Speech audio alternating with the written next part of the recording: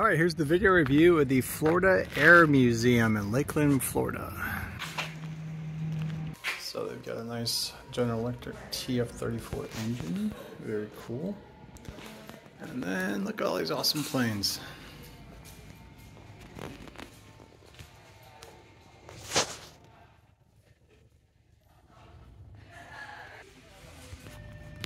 It's a pretty cool, neat little map here. Southwest Airlines. Southeast, sorry, excuse me, not even airlines. Just a map of the southeast. Some cool old signs, some neat old pictures. Celebrating 100 years of commercial flight in Tampa. Some pins from Eastern Airlines. Look at that, Renault Southern Air. Neat. Some old Delta wings. The logbook. This is cool. Jumbo cockpit simulation. Hopefully it's a simulation. Find out in a second. Not a simulator, but it's a decent mock-up. The jump seat. Well, let's say keep saying simulated, but uh, faux controls and stick. Yeah, this is pretty interesting because this is an old school control and airplanes have been using fly-by-wire for years and Tesla just added that to the Cybertruck and everyone's all up in arms that there's no actual steering uh, rack and pinion anymore, but it's actual fly-by-wire or drive-by-wire, steer-by-wire. So you can take a Tesla and Cybertruck make a full turn with just a turn like that instead doing the giant motions of a normal steering wheel. So aviation tends to lead to innovation and a lot of other industries follow. And NOAA, their history. If you do come to this museum, don't forget to look up because there, chances are there's a plane hanging above you. It's kind of cool. Wow, before computers, an actual wind wheel help you do calculations. Amazing. Some smart people came up with this stuff, that's for sure. Ah, this is a neat little sign.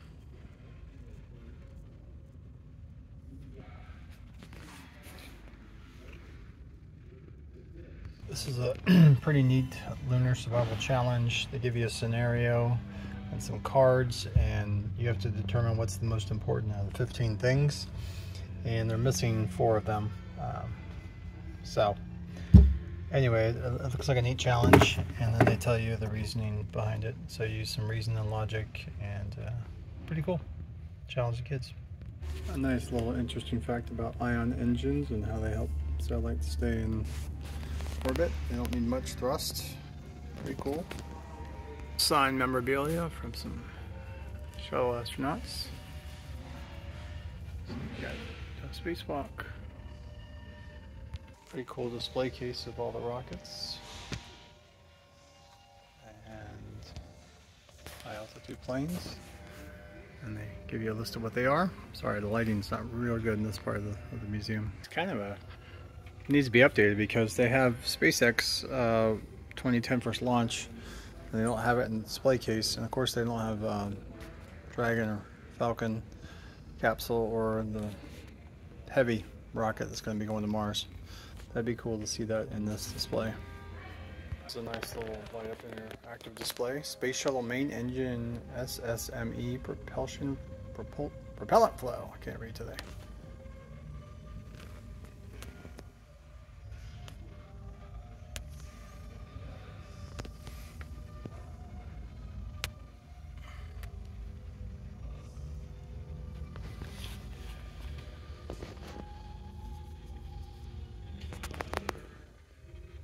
Another interesting fact here about Space Shuttle. Look at this Space Shuttle engine. 500,000 pounds of thrust. The range, and look at that, design life 20, 700 seconds, 55 starts. And yet you look at what SpaceX is doing with their launchable, reusable rockets and boosters. And uh, much more efficient. Looks like this is closed, but there's a single stick over there. And can you fly for 12 seconds like Orville Wright? Apparently it's down. But that looks like a fun little interactive display. And this is the Aviation Hall of Fame. Pretty neat. Sometimes you just need to look back, take a peek up, look around. Douglas DC3 simulator.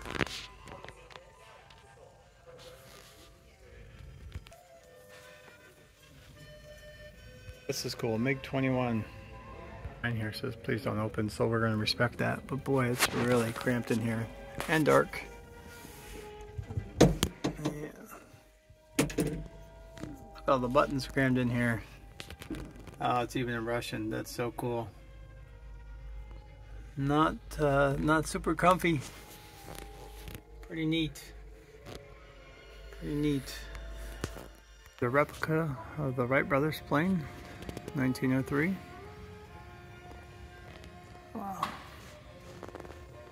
Nice little display case here, memorializing uh, soldiers that fought in the Vietnam conflict. Accommodation medals, picture with President JFK, some money, and then some letters. What it look like when people would mail you postcards and letters. And some of the tools and equipments the pilots would have in their helmets. Some models and mock-ups of the heli helicopters. Flag that was captured. Look at this. Bomb site. B-47Y4 optical bomb site. Once again, American ingenuity, intelligence really came up with this design so they could continue on their take evasive actions and still keep the target in sight. So far this is the coolest thing I've seen. Cross section of a engine. The technical manual for the F100 PW200 engine cutaway. Injection section, compression section, combustion section, turbine section, augmenter section.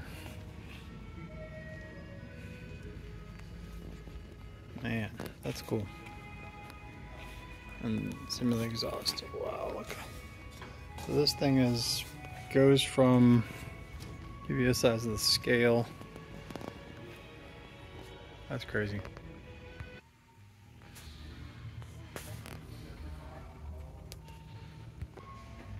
So that last little bit was a Howard Hughes exhibit. We flew around the world. It's also pretty good engineer, apparently. A lot of movies written about him. Movies written about him. Movies filmed about him and books written about him. The Spruce Goose. Buying a hotel in Vegas towards the end of his life. Kind of a little, a little eccentric. Most billionaires are. Alright, Elon If you're looking for a collection of Aviation Week, these are real, these aren't just props. Pretty neat. There's a little bit about this plane.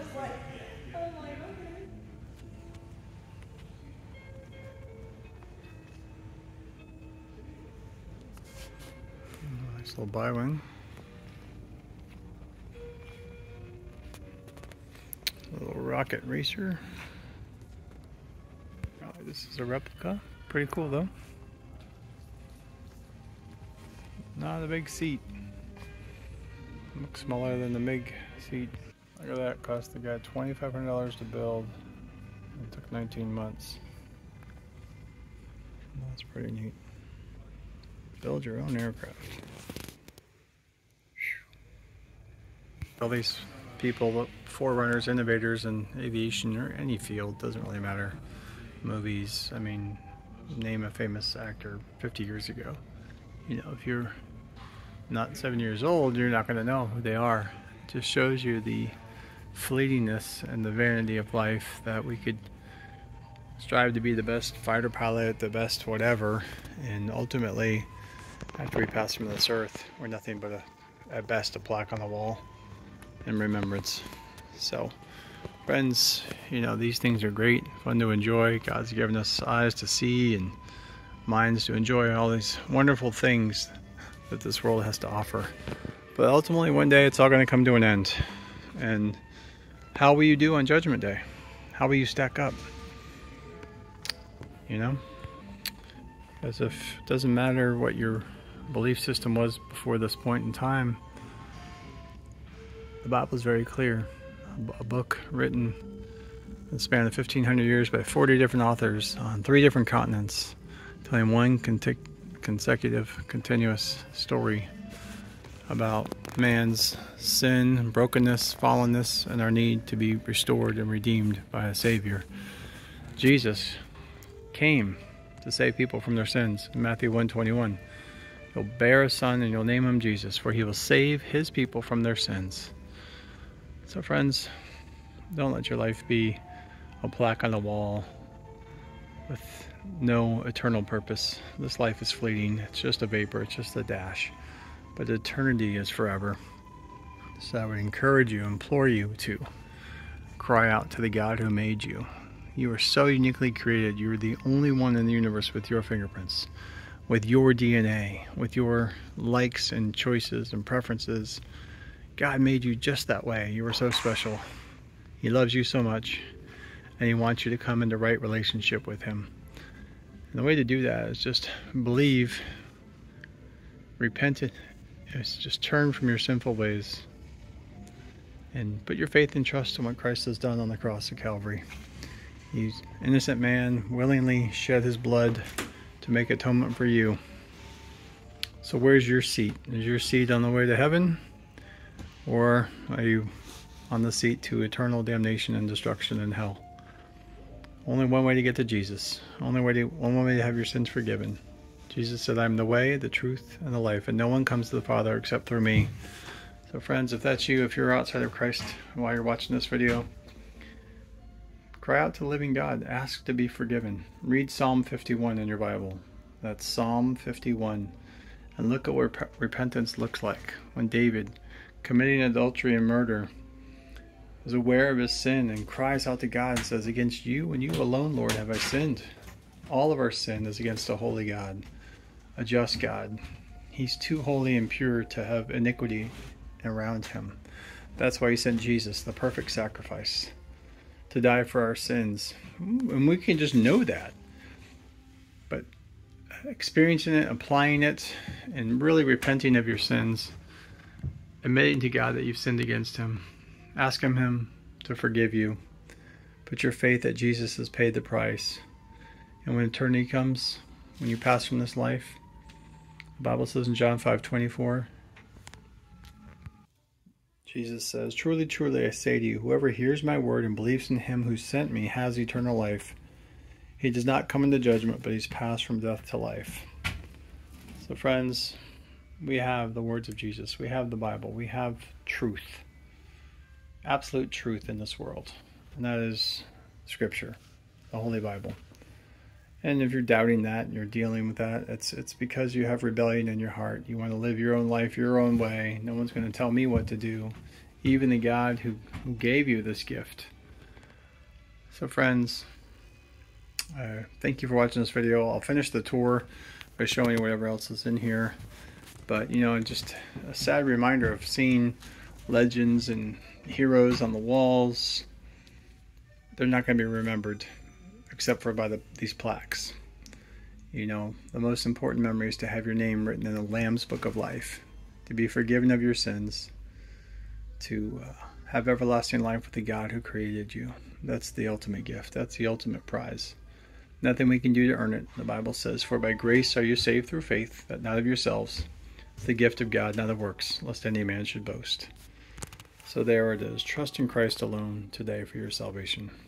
Alright friends, thanks. Like and subscribe for more great content. Uh, this appears to be the whole museum. And we're headed towards the gift shop, give you a quick tour of that.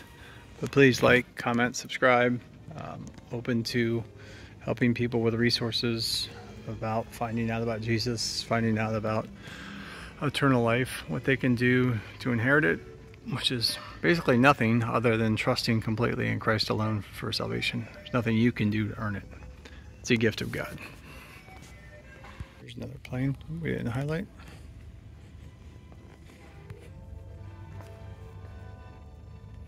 Nineteen thirty-four Aeronca LB.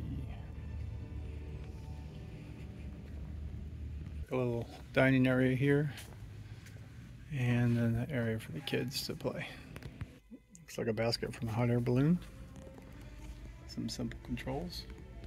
Here's a shot of the gift shop, nice and clean, lots of space, some neat little airplanes and models and paraphernalia. So this is all about propulsion.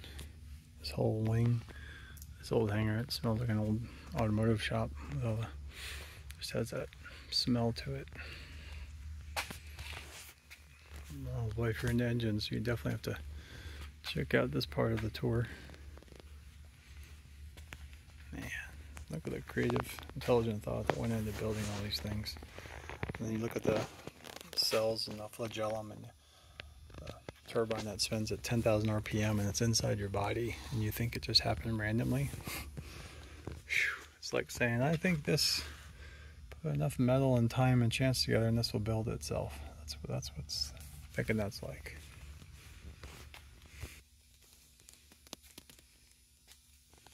Yeah, really neat.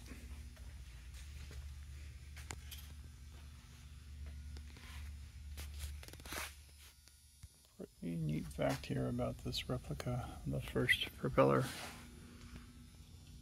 made. Grab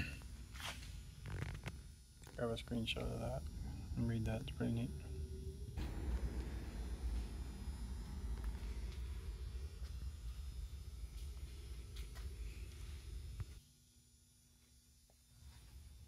And if you've been watching the video, so here's a nice tribute to this man who this building that we're in is named after. Talks about his life, his accomplishments, and everything he's done for aviation and, and the world in general. And once again, it's fleeting, you know. Maybe 120 years if you're super blessed and fortunate.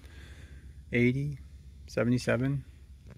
We don't know how long we'll live. That's why it's the Bible's very clear. It says today is the day of salvation friends, I'm not trying to be so preachy and so in your face, but I, truly believe that God can use these things uh, videos, YouTube, gospel tracks, pastors preaching the Word of God, speaking to you uh, to bring you to a heart of repentance. Romans 2 4 says, Are you despised the richness of His goodness, forbearance, and long suffering, not knowing it's God who grants you a heart of repentance? So I pray that that's my prayer for you today that the Lord would grant you a heart of repentance, that you would not be like Pharaoh and harden your heart and shake your fist at God, but truly come to a place of trusting Him alone for salvation. Thanks again. This is uh, wrapping up the the tour. That's the guy Bueller that this building was named after. Uh, did wonderful things. A lot of great people in this world do a lot of great things.